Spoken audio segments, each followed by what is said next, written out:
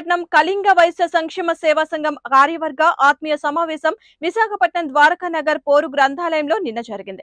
కళింగ వైశ్య సంక్షేమ సేవా సంఘం కార్యవర్గ ఆత్మీయ సమావేశంలో కళింగ వైశ్య అధ్యక్షులు లాడీ కిషోర్ మాట్లాడారు. కళింగ వైశ్యులందరికీ బీసీడీ సర్టిఫికెట్లు తేవడానికి ఎంతగానో కృషి చేస్తున్న లార్డ్ కిషోర్ అలాగే ఇప్పుడు కళింగ వైశ్యాస్కి ఓబీసీలో చేర్చడానికి తాను ఎంతో కృషి చేస్తున్నానని తెలియజేశారు.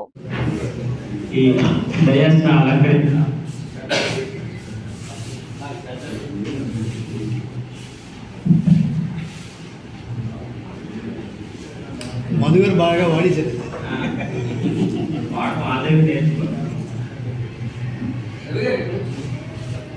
పెద్దలు డయాస్ మీద ఉన్న పెద్దలు ఎవరి మందికి ఈ ఆత్మీయ సమ్మేళనానికి వచ్చిన ఇది ఇక్కడికి కూర్చున్న పెద్దలు ఎవరి మందికి నా యొక్క ధన్యవాదాలు తెలియజేస్తున్నాను సార్. ఇక్కడ ఓబీసీ కానీ బీసీడీకి సంబంధించి కానీ ఇవి వర్గాలకి అతీతంగా చేయాలి సార్. ఇప్పుడు మనం ఎవరైతే డైరెక్టర్స్ అనుకుంటున్నామో వాళ్ళు ఏ స్టైల్లో ఉన్నారో వాళ్ళకి నచ్చిన వాళ్ళకి ఏ సర్వీస్ ఇస్తున్నారో తగ్గిన వాళ్ళకి వదిలేయడం మీ అందరికీ తెలుస్తుంది.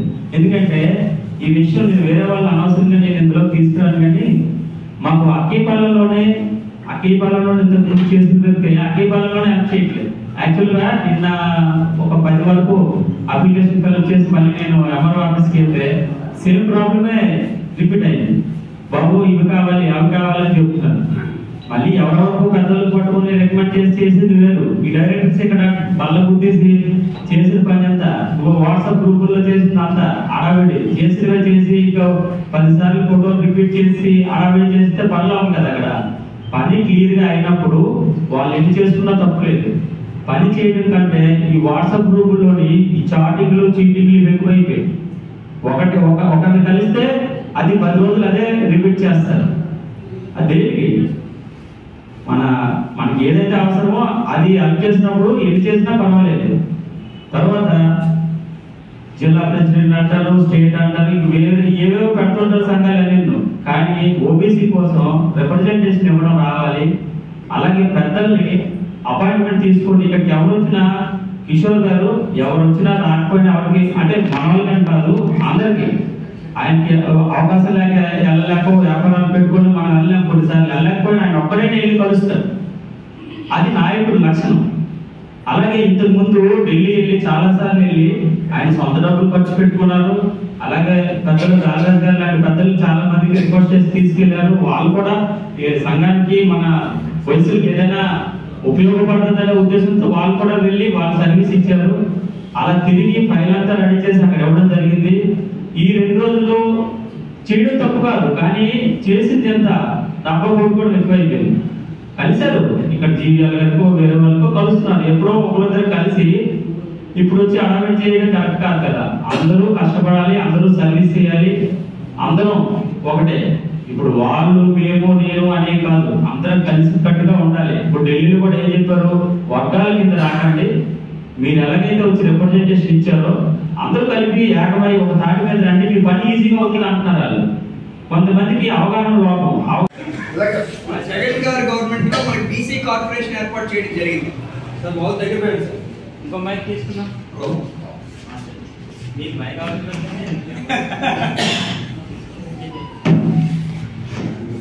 బీసీ కార్పొరేషన్ జగన్ గారు ప్రభుత్వంలో ఏర్పాటు చేయడం జరిగింది. దానికి కొంతమంది డైరెక్టర్లని చైర్మన్ కూడా ఏర్పాటు చేయడం జరిగింది. కానీ ఆ బీసీ కార్పొరేషన్ ద్వారా మనకి ఏదైతే లబ్ధి కలగాలో ఆ లబ్ధి అయితే జరగట్లేదు ఫస్ట్ వాళ్ళ ఎజెండా వాళ్ళకి తెలియదు. యాక్చువల్గా ఫస్ట్ వాళ్ళు చేయాల్సింది ఏంటంటే మన డేటా కలెక్ట్ చేయాలి. ఈ బీసీ కార్పొరేషన్ చైర్మన్ డైరెక్టర్ వారి వారి ప్రాంతాలలో మన వాళ్ళు ఎంతమంది ఉన్నారు అనేటటువంటిది డేటా కలెక్ట్ చేయాలి. తర్వాత మన వాళ్ళకి ఏంటి సమస్యలు ఉన్నాయనేటటువంటిది తెలుసుకోవాలి.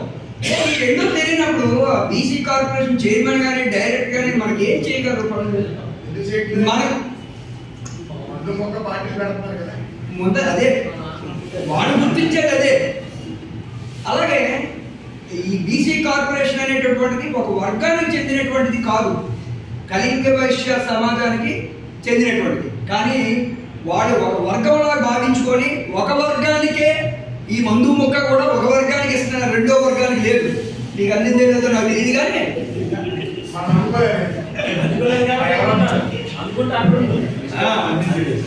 అందువల్ల ఏంటంటే వాళ్ళు ఏం చేయాలో వాళ్ళకి తెలియనప్పుడు వాళ్ళు చేస్తారని వాళ్ళ వల్ల మనం లబ్ధి పొందుతామని మనం ఆశించడం కూడా సున్నా.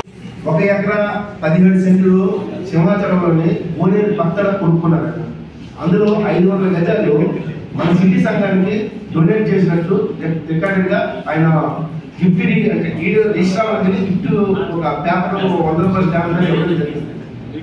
అది మన దగ్గర ఆల్రెడీగా ఆ సిటీ సంఘంలో అయితే సిటీ సంఘం అంటే ఇప్పుడు మన ఓల్డ్ ఫస్ట్ విశాఖపట్నం సిటీ సంఘం. వాళ్ళ దగ్గర అయితే ఉంది. ఆ స్థలం స్థలం కూడా ఖాళీగా ఉంది. ఆ స్థలంలోని మనకి ఇస్తే షెడ్ వేసుకోవచ్చు కానీ ఆ సంఘ సభ్యులు చాలా మంది ప్రెసిడెంట్లు సెక్రటరీలు దగ్గర మారిపోయారు పదహారు సంవత్సరాల నుంచి పదిహేడు సంవత్సరాల నుంచి చెప్పించింది అది. అది మనకి ఇబ్బంది ఇస్తే వెంటనే అందులో షెడ్ వేయడానికి అయితే మాత్రం ఇది రెడీ వాళ్ళు ఎవ్వరు వాళ్ళు తీసుకోలేదు. రెండోది ఏంటంటే దానికి టీం వేశారు. దానికి ఒక కమిటీ వేశారు. ఆ కమిటీ సభ్యుల్లోని కమిటీ ఎవరిని తీసుకెళ్ళి మనం మాట్లాడేవాళ్ళం. ఆ కొందరు ఏంటంటే డైరెక్ట్గా వెళ్ళి మాట్లాడే ఉండిపోయారు. మనం ఒకవేళ అది కానీ సింహాచలం స్థలం ఇచ్చినా సరే అది వెంటనే హ్యాండ్ అవుట్ చేసుకుని అక్కడ చిన్న కళ్యాణ కళ్యాణ మండపం అయితే కుదరదు మనకి వెళ్ళి సార్ పర్ఫెక్ట్గా చూసి కళ్యాణ కౌంట్లు ఎవరు ఉన్నారో వాళ్ళకి ఇవ్వండి అని చెప్పారు. నేను చెప్పిన తర్వాత బోయిన వాళ్ళు ఎవరు సర్టిఫికేట్ నుంచి వెళ్ళారు. ఆ బోయిన వాళ్ళు మీ మీ వాళ్ళు ఎవరు ఇవ్వద్దన్నారు అని చెప్పేసి ఇవ్వకపోవడం వల్ల అక్కడ చాలా పెద్ద చేశారు. బోయిన వాళ్ళకి ఇవ్వద్దని ఎంత బీసీ తీసుకొచ్చి ఎంత పైసలు ఖర్చు కాకుండా ఎంత చేసినండి ఒక కలింగ వాళ్ళకి ఇవ్వద్దని చెప్పారంటే ఎవరు నమ్ముతారు? మీరు లేనప్పుడు మీటింగ్లు పెట్టి ఇబ్బంది పెట్టారు. సో అది అది తప్పుడు తోమలకు తీసుకెళ్ళారు. అదొకటి. అంటే మీరు ఆలోచించండి మనకి రాష్ట్రం అంతా మీద బీసీ ఇవ్వడం వలన మనకి ఇబ్బందులు ఉంటాయి. ఎలాగ ఇబ్బందులు ఉంటాయంటే మీకు అది కూడా స్టాటిస్టిక్ అంటే మీకు విషయం చెప్తాను. రాష్ట్ర ప్రభుత్వం బీసీలు వచ్చేటప్పటికి ఈ ఇరవై రెండు వేల కోట్లు ఇచ్చాం పద్దెనిమిది వేల కోట్లు ఇచ్చాం ముప్పై వేల కోట్లు ఇచ్చాం చెప్తుంటారు.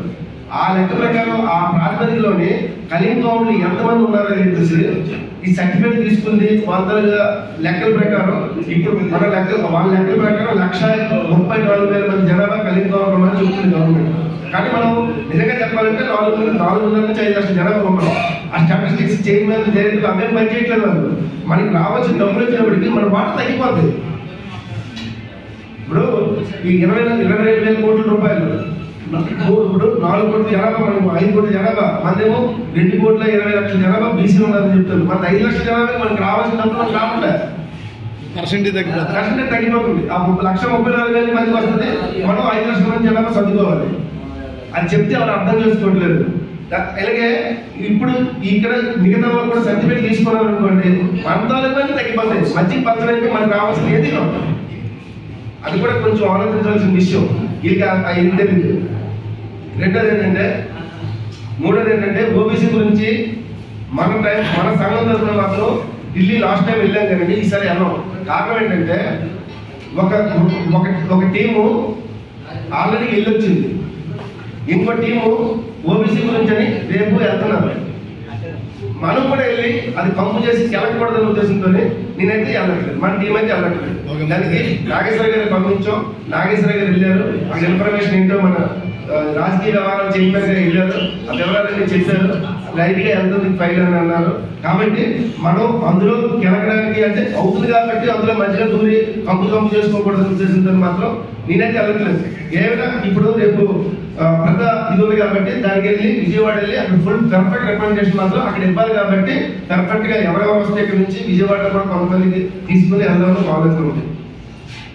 తర్వాత స్థలం గురించి అని చెప్పారు టీడీ స్థలం గురించి అని చెప్పారు. స్థల సేకరణ ఇప్పుడు ఆల్రెడీ వైఎస్ఆర్సీపీ ప్రభుత్వం ఉంది. కడాఖండిగా కలింగౌడ్కి మేము ఇవ్వము మేము ఇచ్చాం హామీ ఇచ్చాం కానీ ఇవ్వమో చెప్పేశారు ఆల్రెడీగా. కానీ ఇంతకు ముందు తెలుగుదేశం ప్రభుత్వంలోనే కొన్ని క్యాస్ట్లకి స్థలాల మీద ఇచ్చారు. ఒక ఒక క్యాస్ట్ వాళ్ళు ఇన్ఫ్లుయెన్స్ చేసుకొని నాలుగు స్థలాలు తీసుకున్నారు. ఆల్రెడీగా ఒక స్థలంలో కట్టుకున్నారు ఒక స్థలం కన్స్ట్రక్షన్ అవుతుంది రెండు స్థలాలు ఖాళీ ఉన్నాయి. వాళ్ళకి నేను రిక్వెస్ట్ చేశాను. సార్ ఆ స్థలం నాకు ఇవ్వండి. మీకు ఏం కావాలంటే అది ఇస్తాం మీ రాజ్యాలతో చేసామని చెప్పేసి చెప్పాం. అలాగే అని చెప్పారు. నాకు ఈ మధ్యలో తప్పుడు రాజకీయాలు తప్పుడు పనులు తప్పుడు పనులు నేనైతే మాత్రం దాని మీద కాన్సన్ట్రేషన్ తగ్గించేదేమో ఎంత మనం చేసినా సరే తప్పుడు మాట్లాడుతున్నాం మనకి ఎందుకు ఎవరు ఖండించట్లేదు.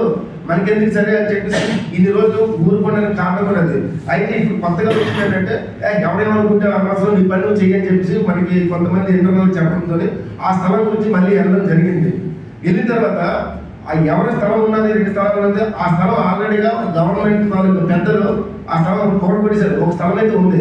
ఆ స్థలం నేను చెప్తే ఎవరు అది లైన్ అడుగుతున్నారు. ఆ లైన్ నాకైతే చెప్పారు ఆయన. ఆ లైన్ కొంతమంది లైన్ ఓపెన్గా చెప్పకూడదు. ఎవరైనా పెద్దలు వస్తే వాళ్ళని చెప్పి ఆ లైన్ ద్వారా వెళ్తే కొండ మీద స్థలం అవ్వడానికి కూడా మనకి అవకాశం ఉంది. మరి ఆ స్థలం మనకి ట్రాన్స్ఫర్ అవుతుంది. సో ఇలాంటి కార్యక్రమాలు ఉన్నాయి. తర్వాత ఇక్కడ లోకల్ కూడాను సుబ్బారెడ్డి గారికి చెప్పాను కదా ఇందాక ఆయనకి ఇచ్చారు కాబట్టి దిలీప్ గారికి ఇచ్చారు కాబట్టి మనం కూడాను దానికి వేరే లైన్ ఉంది. ఆ లైన్ ద్వారా మేము అందరూ సపోర్ట్ చేస్తే వెళ్తాము సో ఒక్కొక్కరు అడిగితే నేను ప్రతిదానికి సమాధానం చెప్తాను. తప్పు ఉంటే తప్పు ఒప్పించుకుంటాను ఒప్పుకుంటే మా చేసినంత వరకు రిప్రజెంటేషన్ అంటే తప్పని చెప్తాను. ఎందుకంటే ప్రతిదానికి ఇది ఇదే ఒకసారి ఇంకో ఇంకో విషయం చెప్పారు. కరోనా టైంలో సేవ చేశారని చెప్పేసి మీ అందరికీ తెలిసిన విషయం ఒక వ్యక్తి గ్రూప్లో పెట్టారు ఏంటంటే కరోనా టైంలో పంతులతో బేరం ఆడుకుని డబ్బులు తీసుకున్నాం. శ్మశాన మందులు బేరం డబ్బులు తీసుకున్నాం. రెండోది ఏంటంటే శవాల మీద ఉదరాలు చైన్లు తీసుకున్నాం. అని చెప్పి మా మహానుభావుడు వాడికి ఎలా నోరు వచ్చిందో చెప్పాడు. ఇంకో విషయం ఏంటంటే అదే విషయాన్ని పలాస కాశీగోపులను ఒక వ్యక్తి ఏకంగా గ్రూప్లో పెట్టాడు వాయిస్ మెసేజ్. నువ్వు ఇలా చేసావని చెప్పేసి. చాలా బాధపడ్డాడు చాలా బాధపడ్డాడు. అయితే బాధపడినంత ఎక్కడ నేను బయటపడలేదు. ఏ సమర వ్యక్తి అన్నాడో ఆ సమర వ్యక్తి తాలూకా ఫాదర్ అక్కడికి ఒక పదిహేను రోజులు చనిపోయారు ఇక్కడ వైజాగ్ క్యాన్సర్ గాంధీ హాస్పిటల్ ఎదుర్కొంటుందని చనిపోయారు ఉదయం ఎనిమిది గంటల చనిపోతే తొమ్మిది పది పదకొండు పన్నెండు ఒకటి గంట రెండు గంటలైంది ఎవ్వరు ఆ బాడీ తీసుకెళ్ళడానికి అది దగ్గర బంధువులు కూడా రాలా. పలాస కాసేపు నుంచి నాకు మన అక్కడ జనరల్ మన సెక్రటరీ గారు జనరల్ సెక్రటరీ సంఘం జనరల్ సెక్రటరీ ఉన్నారు? ఆయన ఫోన్ చేశారు. అన్నయ్య ఇలా సోన్ అయింది కాబట్టి పలానా విజయాలు నాన్నగారు చెప్పారు. నువ్వు వెళ్ళి ఆ కార్యక్రమం చేయాలి. నువ్వు ఫోన్ చేయడానికి ఏంటో ఆయనకే చేయమని చెప్పారు. అలానే చేయించాడు నువ్వు చేయడం అంటే అలా నీ విజయ్ చేయమని చెప్పారు. విజయ్ మాయ గారు జరిగింది మా నాన్నగారు చెప్పారు రెండు అన్నారు రెండు బాబుకి చేసి చూసి చూసి ఆ రెండు బాబుకి సిగ్గుతో కప్టెన్ కూడా చేశాడు. రెండు బాబు చేసిన తర్వాత రెండు రెండున్నరకి నేను కంపెనీ దగ్గర ఉన్నాను నేను వస్తానని చెప్పేసి వచ్చి ఆ వెంట వెంటనే ఆ కార్యక్రమాన్ని టూ అవర్స్ అంటే గంట వీక్లీ అటెండ్ చేసి ఆ బాడీ అందులో ఎత్తడానికి కూడా వీలు లేకపోతే నేను నా చేతితో ఎత్తేసి బాడీ తీసుకెళ్ళి కార్యక్రమం అక్కడ మీ నాన్న ఒంటి మీద ఎన్ని చేయలు నుంచి ఎన్ని వందల నుంచి చెప్పు అని చెప్పాను అడిగాను ఆ వ్యక్తి అన్నాడు కదా. అంటే మనం సర్వీస్ చేసినా ఇంత ఘోరంగా మాట్లాడుతున్నాం. ఓకే. రెండోది బీసీకి వచ్చేటప్పుడు కిల్లి కుమారయ్య గారు బొత్స సత్యబాబు గారు కిరణ్ కుమార్ రెడ్డి గారు ఎంత సాయం చేశారో ఇప్పుడున్న మన చైర్మన్కి తెలుసు మన కలిగిన చాలా మందికి తెలుసు తెలుసు. నాకంటే ముందు బీసీ గురించి చాలా మంది పెద్దలు తిరిగారు.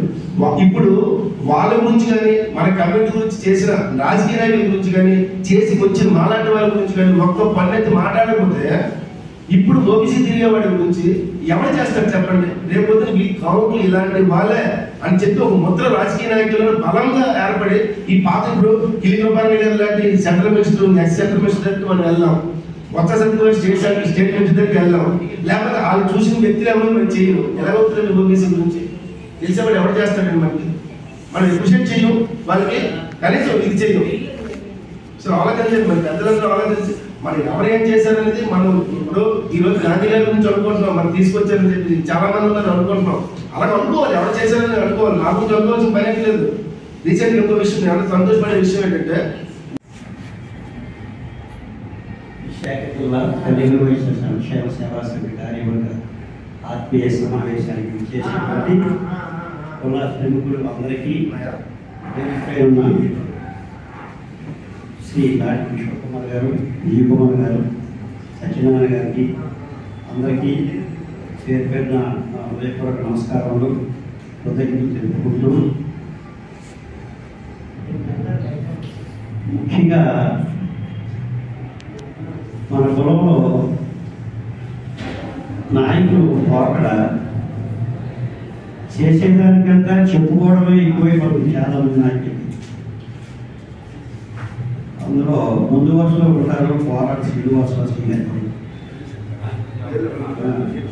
ఇప్పుడు ప్రజాస్వామ్యబద్ధంగా ఎన్నికైనటువంటి ఫ్యాన్లకి వాటిపై ఫ్యాన్లు సపోర్ట్ చేయాలి. అప్పుడు ఆరోగ్యకరమైనటువంటి పొలంగా మనం అన్ని కార్యక్రమాలు పక్షపాతం లేకుండా నిష్పక్షపాతంగా ఎవరైతే చొరవ నిష్పక్షపాతంగా సేవా దృక్పథంతో గురువు మంచి చేయాలని అనుకుంటారో అటువంటి వారికి మనం సపోర్టివ్గా నిలబెడితే ఇప్పుడు ఫర్ ఎగ్జాంపుల్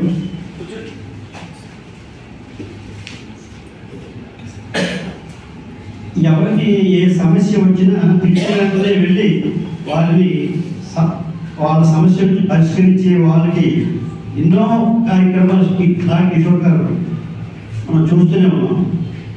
అలాగే ఒక అనాథ ప్రేత ఎక్కడైనా చనిపోతే అది ఎలా తెలుస్తుందో వారికి వెళ్ళి నిలబడి ఆ దాని సంస్కారాలు చేయడం అయితేనే కానీ కరోనా కష్టకాలంలో అయితే మన యూత్ కుర్రాళ్ళతో అందరినీ సమన్వయం చేసి బయట ఉన్నటువంటి ఆ పేషెంట్ ఎటెండెన్సీ ఫుడ్ ఇవ్వడంలో కానీ ఆయన ప్రాణాలకు తెగించి ఎంతో మందికి శ్మశాన వాటికి తీసుకువెళ్ళి ఆయన అంత్యేష్ట సంస్కారాలు నిర్వహించడం కానీ అంత సేవా దృక్పథం కలిగిన వ్యక్తికి అనుచరులు అయ్యుండి దూరం అవుతున్నారు. అది ఎందుకు అని వాళ్ళ లోపమా కిషోర్ గారి లోపమా దయచేసి కిషోర్ గారు ఆత్మపరిశీలన చేసుకోవాల్సిందిగా మనం చేస్తున్నాం. నాయకుల వ్యక్తి సమస్యతో పోరాడి కులానికి సేవ చేయడం ఒక ఎత్తు కేవలం నిలబెట్టుకోవడం ఇంకొక ఎత్తు. ఎవరో ఏదో చులకనగా మాట్లాడిన దానికి మీరు ఒక రాష్ట్ర స్థాయి నాయకులై ఉండి కౌంటర్ ఇవ్వడం కరెక్ట్ కాదు. ఉందాక ఉండాలి. దానివల్ల కూడా మీరు ఎంత ఔన్నత్యంలో ఉన్నా కూడా అటువంటి వాటిని కౌంటర్ ఇవ్వడం అనేది పదజాలం అనేది అది ఆదర్శనీయం కాదు. మీరు ఎంత సేవ చేస్తారో అందరికీ తెలుసు. కానీ ఎవరో ఒక వ్యక్తి టార్గెట్ చేసి మాట్లాడితే వాళ్ళని మీరు కౌంటర్ ఇవ్వడం అనేది నేను తగ్గిస్తే బాగుంటుందని నా అభిప్రాయం. సభాముఖంగా చెప్పినందుకు అన్నిదా భావించదు కిషోర్ గారు.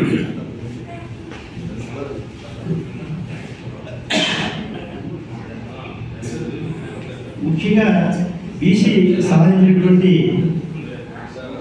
వ్యక్తుల్లో అత్యధిక నేను స్వయంగా వారు వెళ్ళినటువంటి ప్రతి క్యాంపు అక్కడి నుంచి కూడా నాకు మాట్లాడి ఆయన ఎంత కష్టపడ్డారో బీసీ కోసం మన జిల్లా నుంచి అందరికీ తెలుసు.